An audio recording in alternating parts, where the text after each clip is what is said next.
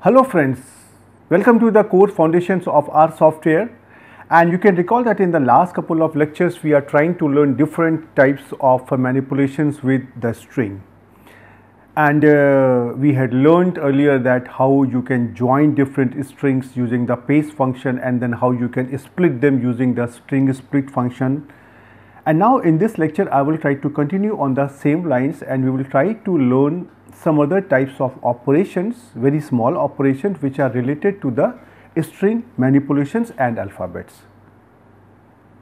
So, I will try to take here couple of examples and through those examples I will try to explain you that how these small functions are working when we are trying to deal with different types of characters and strings.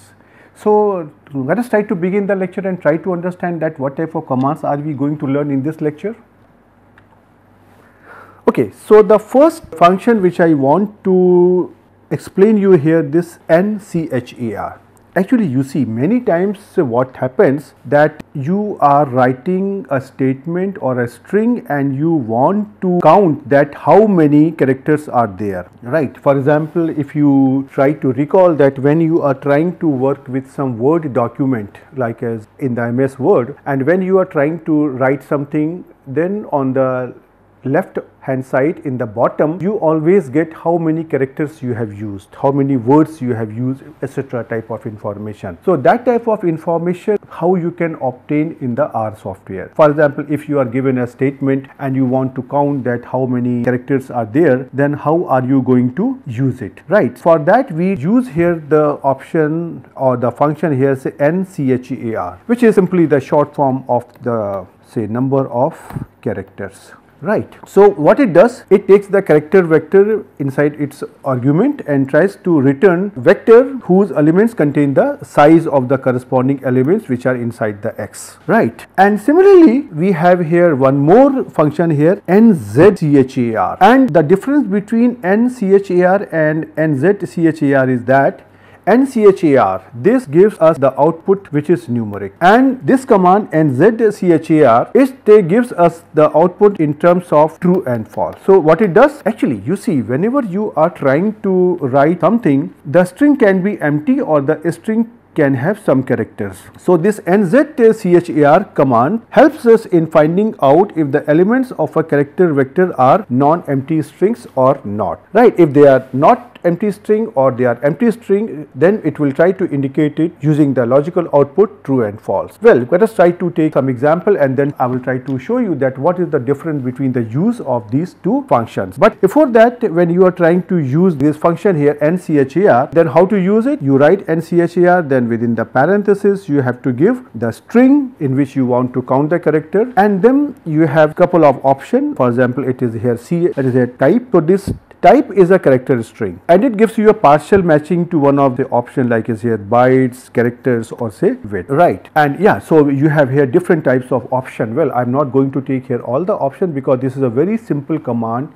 which you can understand but I will leave it up to you that you try to use these uh, different types of option and try to see what it gives. Right, okay and then after this here we have a function here allow NA. So it is here a double l o w capital N a. So this is also a logical variable true and false and as the name suggests that whether you want to allow the N a values or not in the output that you can control from here. Similarly you have here one more option here keep N a. K double E P is in lowercase alphabet and N a is in the upper uppercase alphabet. So, it is also a logical variable and it, uh, it tries to answer the question should NA be written when X is NA? Right. So, I will try to show you these options and other type of outcome through the example. So, let us try to consider here a string say R course 24.07.2022 this is my string you can see here these are my double quotes and I want to count here that how many characters are used in this string x. So I try to write down here NCHE par and inside the parenthesis I simply write down here x and you can see here how it is trying to give us the value. So, please try to count how many characters are there say here 1. Now, suppose I am now confused whether I should include here the blank space or not. So at this moment I say okay blank space should not be counted so I am skipping blank. Later on we will see whether the R is counting the blank space or not because as I always say towards the end that you have to understand how the R is working. So this is my here first value R then C is second, third, fourth, fifth, sixth, seventh, eighth, ninth, tenth, eleventh, twelfth, thirteenth, fourteenth, fifteenth, sixteenth, seventeenth. And so now you can see here here there are here two blank spaces which are also to be counted. So, this will give you the number 19 here. So, the rule here is this, this command nchar, this is also counting the blank space and obviously they are inside the double quote. So, this is a whole string. So, blank space is automatically going to be counted as a one of the character. Similarly, I try to take here one more example and, and I try to write down here number of participant colon and then 25. So, let us try to first count that how many numbers are there and now you know how to count it. So, this is here 1, 2, 3, 4, 5, 6 and then blank space is 7, 8, 9, 10, 11, 12, 13, 14, 15, 16, 17, 18, 19, 20, 21, 22, 23 and then blank space 24, 25, 26 and you can see here this is here the outcome of NCHAR and inside the parenthesis I gave here Y right. So, you can see here it is simply trying to count the number of characters in the string right and similarly if you try to use the command here nzchar on the same variables then let us try to see what it does right. So, its output is going to be either logical true or logical false right. So, if you try to see here in this string is there anything which is empty? No. You already have count that it has 19 characters and the same here in the y also there are 26 characters. So, how it can be non-empty? So, when you try to use the same statement x and y here as you used earlier the outcome of this nzchar and and nzchry that is going to be true. This means the vectors are non-empty. Yeah, after that I will try to take an example where I try to take a empty vector and then I will try to show you what it gives. Right. So this is here the screenshot of the same outcome. So first let us try to see how the outcome will look like in the R console. So let me try to take it here. X here is like this and let me try to take here Y here is like this. So you can see here X is this and Y is this and then I try to use here NCHERX. This is here 19 and if I try to use here n z c h a r, this is true. And similarly, if you try to click here uh, the NCHAR in the Y, that means the number of characters in the Y, this is giving you here 26. And if you try to use here NZCHAR, it is giving you here true right. So, you can see that it is not very difficult to use these amounts and yeah many times in the data manipulations and when you are trying to do different types of operation they actually help us. So, now I try to show you here that how this NZCHAR command will work if there is an empty argument right. So, let me try to take here first an example where I am trying to take here three strings apple banana cake our popular example. So, these are three characters which are stored in the data vector here x and this is here x check and if you try to see here if you try to use here NZCHAR X it is giving you here true true true this is obviously apple has how many characters 1 2 3 4 5 banana has how many characters 1 2 3 4 5 6 and cake has 1 2 3 4 so definitely they are non-empty so it is trying to give here this true and true for apple banana and cake respectively right that means each of the string is non-empty now you see how do I modify the same example. I try to take here the apple, I try to take here the cake, but for the banana I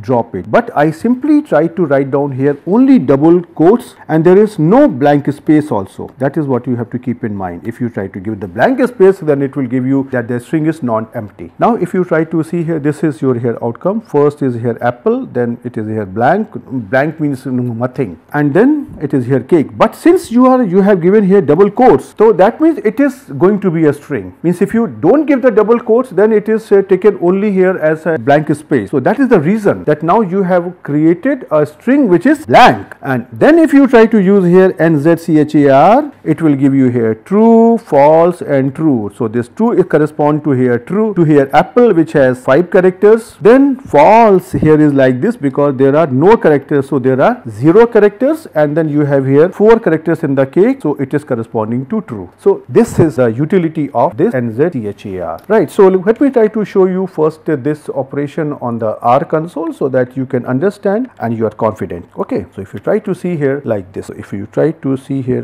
nz C H E R this is here X this is here like this true and if you try to simply use here only NCHAR see what it gives it will give you that there are 5 6 4 values right. So similarly now I try to modify my here this X and you try to see what I am trying to do here I am simply to delete all the values and I have only here just these two double quotes right. Now this is and I suppose I try to write down here as Y. So now if you try to find out here what are the NZCHAR H A R inside this here. Y, You can see here this is giving you here true then false and then here true and if you try to use here the command here nchary this will give you here 504 so you can see here now this has zero character so it is trying to give you a reply in terms of the logical false but the more important part is that you have to understand how to interpret the result right so if you try to see here now i try to give you here some more example that how you can count the numbers and the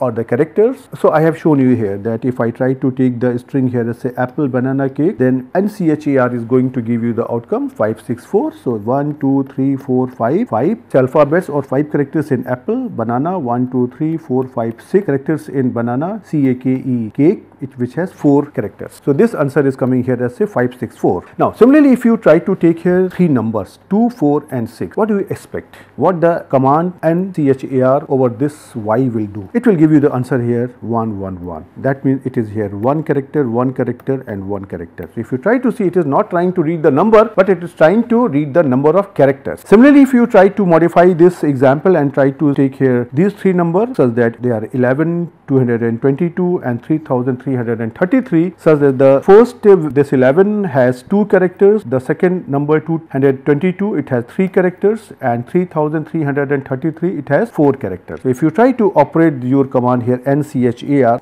over here Z it will give you here 234 right. So 2 in 11, 3 in 222 and 4 in 3333. Now in case if you try to take here any other number with decimal point then what happens? So you have to remember that the decimal point points are also taken as a character. So if you try to take here this data vector where I have taken here these three values. So the first value is here 1.1, this is a 1, 2 and 3. So the number of characters in 1.1 is 3. Then my next value is 2.22. So in this case 1, 2, 3, 4. So I have 4 characters in 2.22 and similarly here in 3.333 it is 1, 2, 3, 4, 5. There are 5 characters in 3.333 and if you try to see here the outcome of this NCL CHER over Z 1 which is the this vector here it has the outcome 3 4 5 and this is here the same outcome which I will try to show you on the R software right now so before I try to move forward let me try to show you these things over here so let me try to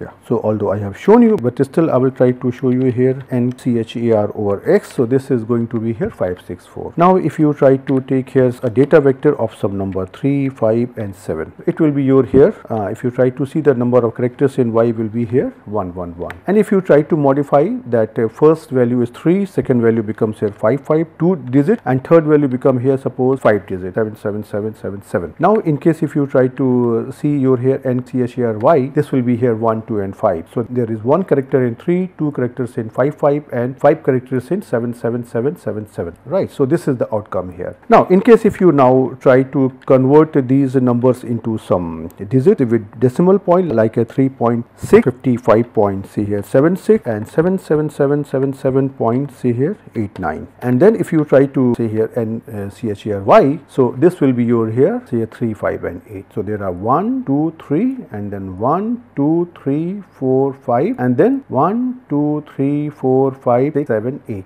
So this is here the outcome 3, 5, 8. Right. So these are very simple operation by which you can count the number of characters in any string or any number. Now after this I try try to give you here one more operation which is related to the alphabets and that is a very simple operation that suppose you have some characters or some strings which are based on some alphabet and you want to change the lower alphabets into upper case alphabet or say upper case alphabets into the lower case alphabet. And if you try to see if you have used the software like MS Word, then if you try to see on the left hand side on the top, there is one option here where there is an option like something like this say small a, capital A, etc. And it gives you here different option change to lower case, change to upper case, change to sentence case, etc. So similar type of operation many times are needed when we are trying to deal with different types of strings and particularly when you are trying to prepare a format for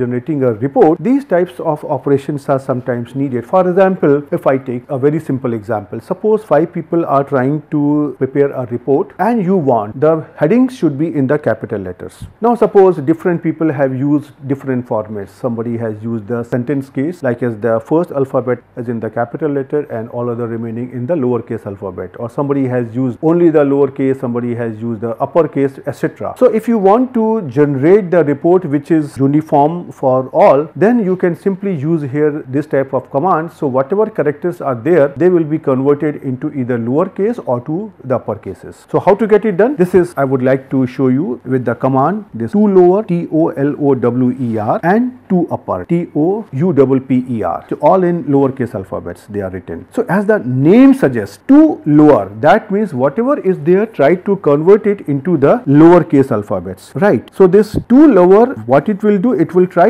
to convert all the lowercase alphabet means if you try to give any string and if it has any characters in the uppercase all the characters are going to be converted into the lowercase and similarly this command here 2 upper if you try to give any string here in the x which has suppose some lowercase alphabet so they are going to be converted into all uppercase alphabet right and yeah so the first question also also comes in the mind that if there are some numbers like as non-alphabetic characters like as symbols or numbers then they will be remain intact they are not going to be changed. So let me try to take here some example and try to show you the application of these two commands. So let me try to take here this first example where I try to take here a string our course will start from 24.07.2022.